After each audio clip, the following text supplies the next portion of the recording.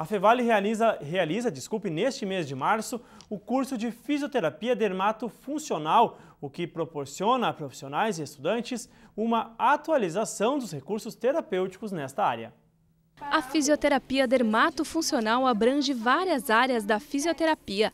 Trata da recuperação física, estética e funcional decorrente de alterações de distúrbios vasculares e de circulação. Tem focado alguns públicos, né? um deles é os tratamentos direcionados para as gestantes, os tratamentos direcionados para a área de uh, pós-operatório pré, né? o pré também abrange, de cirurgias estéticas, cirurgias de redução de estômago, cirurgias também de reparadoras em geral, os tratamentos em geral também de corporais, faciais. Entre os corporais, a gente poderíamos citar né, os tratamentos para celulite, gordura localizada, flacidez de pele, flacidez de músculo, que, que são diferentes, esses dois tipos de flacidez, né?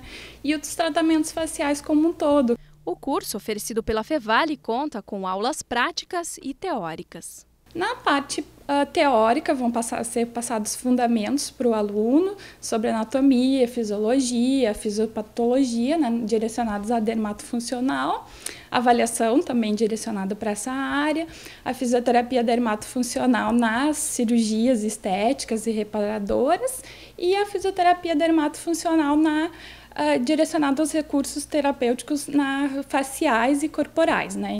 Capacitação é direcionada a fisioterapeutas e acadêmicos de fisioterapia.